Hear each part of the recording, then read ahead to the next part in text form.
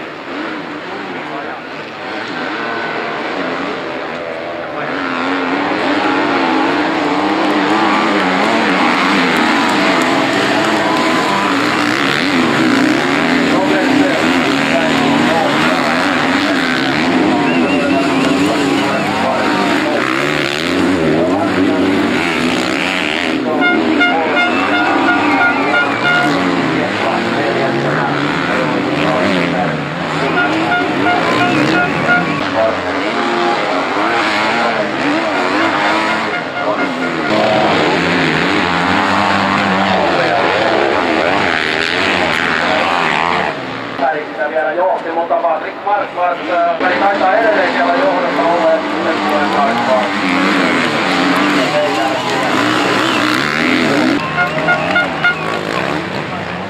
Johtaa.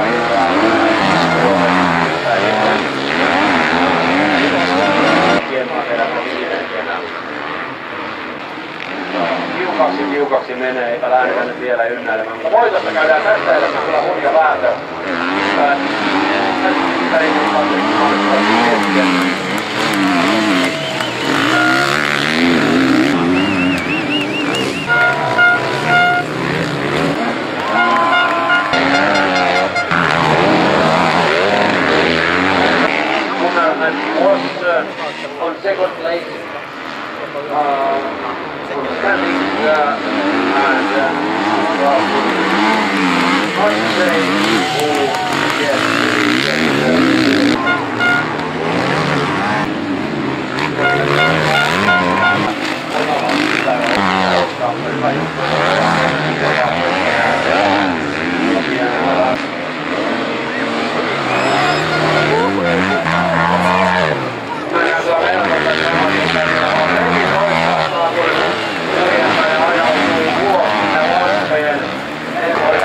Thank you.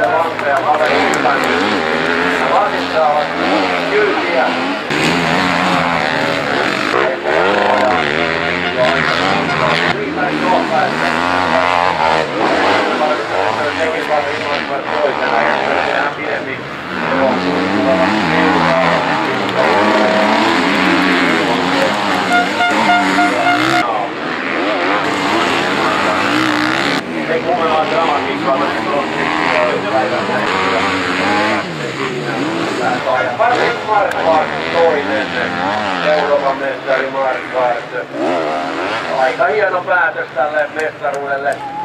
Tietysti pieni, pieni säännö, mutta aivan tällainen, jota kaivastelee, eli Marquardt ja kisapäivät, mutta tämä viimeinen oli sitten niin kuin lähestään toiseksi. Riipäri oli kuitenkin hieman paremmin tässä crossissa. Vähän päätään muistelee Latvian Keith Philipson. Sehän kolmannen kyllä vaiheessa oli käynnissä Latvian Keith Philipson. Hän muisteli päätä eikä ihan sitten kai putkeen mennyt, mutta riittääkö öö, Philipsonilla sitten ei riitä millään. Philips on siellä vasta, vasta kaukana. Eli tässä sarjan kärkinimet Markvastia lukuun ottamatta jäivät tuonne Lettan hännille enemmän. Eli toivottavasti mitään protesteja ei tule. Se saataisiin sitten ihan urheilullinen päätös tälle hienolle EM-kilpailulle Heinolassa.